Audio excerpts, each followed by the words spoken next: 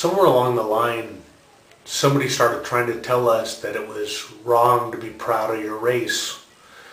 You know, if you were a black man, that it's not proper for you to want to marry another black person, or if you're Latino, to to stay within your your race and marry a Latin. Uh, if you're white, to marry another white. If you're Asian, to marry an Asian. Uh, these qualities um, are beautiful.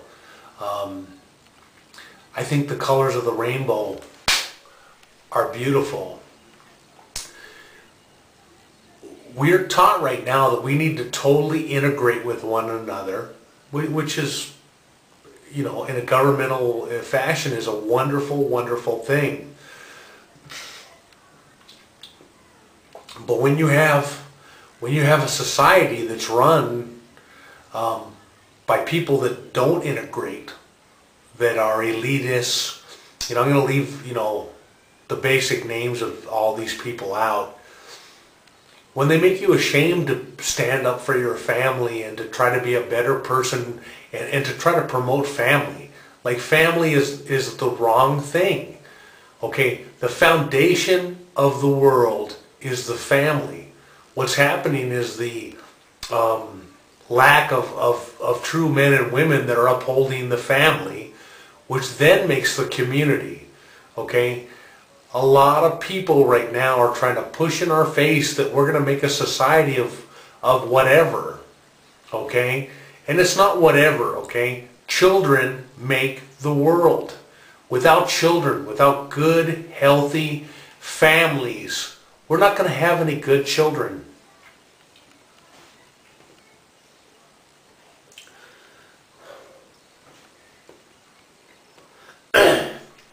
Have to be very careful how I talk.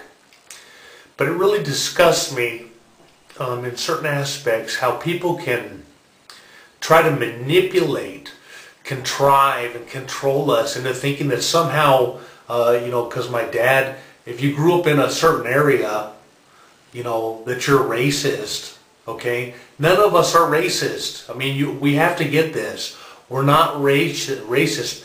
We're not, you know, it's okay to have a culture, okay? What we need to do is get along, you know, not totally, you know, super integrate. I deal with a lot of very, very heavy people from all around the world, um, from different cultures, and, and to be honest with you, uh, you know, I made another video about this. Uh, I enjoy going to Koreatown and eating. I, I, I enjoy going to uh, different parts of, of the city that I live in and experiencing people's culture.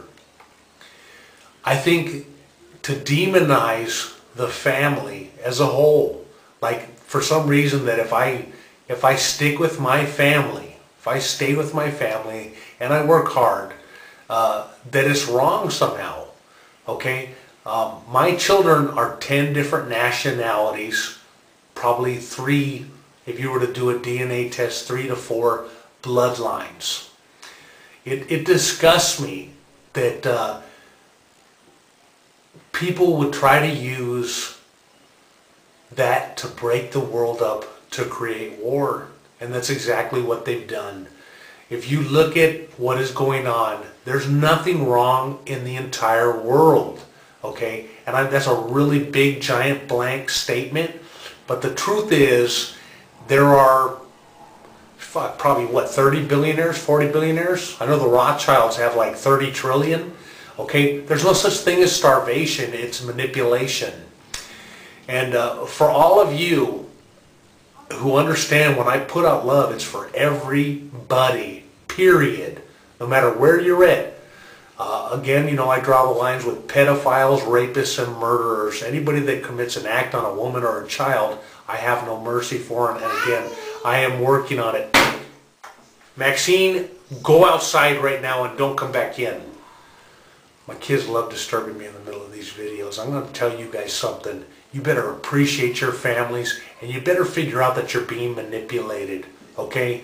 We deserve a better world. There's no such thing as money. Fractional banking is a guy had a dollar, loaned out a million, then it went a trillion, and all of a sudden they've got all of us. It's fucking bullshit.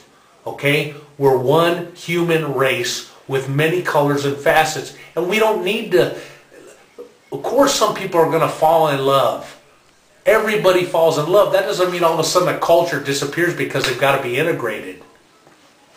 Okay? Stop the myth. Okay? We don't all hate each other. The extremists that are made and manipulated by these elitists, and let me tell you, they are made and, and you know manipulated. It's not natural to hate. Okay? You know, I just watched a video right now that just brought tears to my eyes.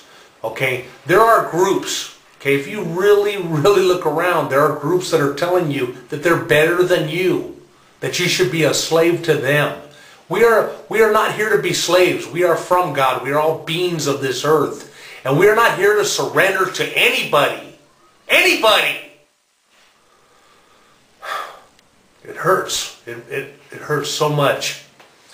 I'm tired of selling out to all these people. I'm tired of having to be politically correct while they devour who we are. Okay?